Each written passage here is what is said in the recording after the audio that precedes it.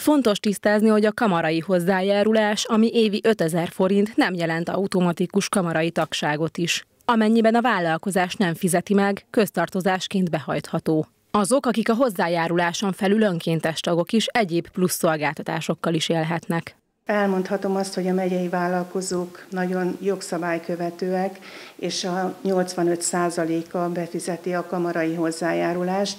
Ebben ö, szinte az első helyen van a mi kamaránk a, az országos szintet figyelembe véve, tehát a vállalkozások ezt betartják. Az lenne a jó, hogyha még jobban igénybe vennék a kamara szolgáltatásait, folyamatosan keresnének minket, jönnének és igénybe vennék azokat a lehetőségeket, amiket nyújtunk. A kamara folyamatosan elszámol a befizetett 5000 forintok elköltéséről, a gazdasági adatai nyilvánosan elérhetőek a weboldalon.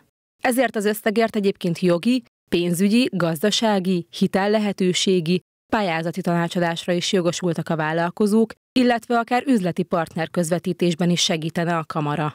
Azért éri meg, mert sok olyan tájékoztató anyagot is kapunk a kamarától, ami használható. Néha csak egyébként, ha nem is megyünk el képzésre, van egy-egy leírás a képzéssel kapcsolatosan, és akkor annak is utána tudunk nézni, hogy akkor mi történt ezen a területen. Tehát magát a hírleveleket, és én nagyon jónak tartom a kamara részéről.